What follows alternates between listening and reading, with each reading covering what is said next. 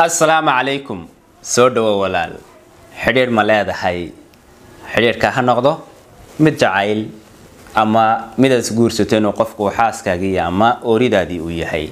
Jawaabta hadday haa tahay fideoga waa kuwa munaasib ku soo dhawow haddaba cilmi nafsigu waxay dhahaan xidhiidhka laba qof ka dhaxeeya guushiisu iyo khasaarihiisuba waxay ku xidhan yihiin nuuca su'aalahaan isweydiinayno iyo jawaabahaan ka bixinayno.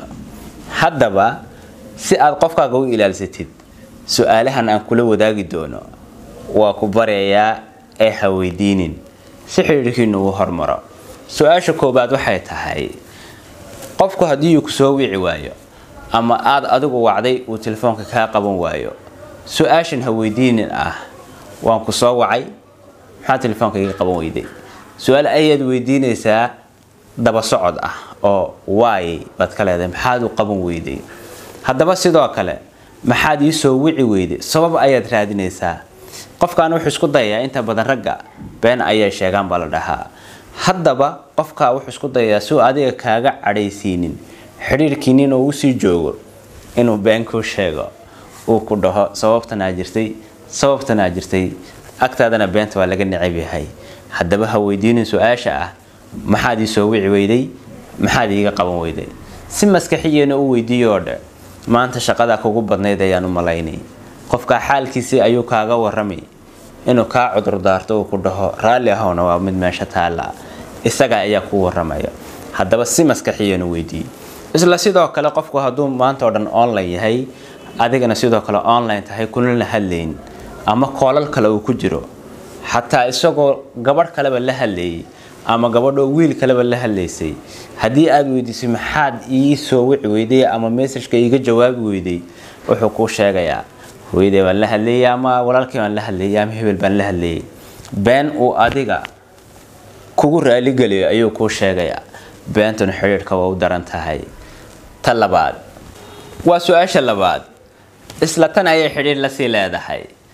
Ayaad la hadlaysay ha weydiinin kool ayaad ku jirtay ayaad wacaysay ayaad la hadlaysay.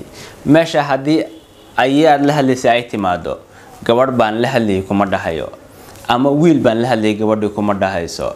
Waxay isku dayaysaa ama uu isku dayayaa inuu been kuu sheego ama inay been kuu sheegto. Haddaba qofkii si uuna been kuugu sheegin ha dhigin meel uu been kuugu sheego oo ha weydiinin ayaad la hadlaysay. Si maskaxiyan u weydii oo caqliyaysan qofku isagu ku waramo. Sidan oo kale su'aasha u weydii waxaan moodayay maanta inaad khadka ku jirtay. Haddaba qofkii isaga ayaa iska waramaya markaas. Waxaad dhigaysaa meel uu isagu kuu waramo haddaba sidoo kale waxaad ku dhahdaa waxaan u malaynayaa xalay inaanad seexan. Marka macnuhu waxay ka dhigan tahay inuu qofkani xaloo ka dhan uu khadka ku jiray. Adigana kula hadal. Adigiina aada dareentay ama aada aragtay isagiina aada dareensiinaysid xalo ka dhan inuu khadka ku jiray adigana kula hadal. Isaga ayaa qofka iska waramayo ayaad la hadlaysay halkeed ku dhihi lahayd. Waxaad leedahay waxaan u malaynayaa ama aan mooday inaad xalay khadka ku jirtay ama xalay inaanad seexan baan u malaynayaa. Mararka qaar waxaa dhacda adigoo le qof soo jiido ama hadal fiican weydii in ay dhinaca kale u weecato oo markii dambe aad aragtay adigoo xumaan ama hadal aan jeclayn ku dhex jiro. Haddaba su'aalahani raggu way dhibsadaan dumarkuna sidoo kale. Waa ku baryayaa ha weydiinin qof. Su'aashan ah madi jeceshahay.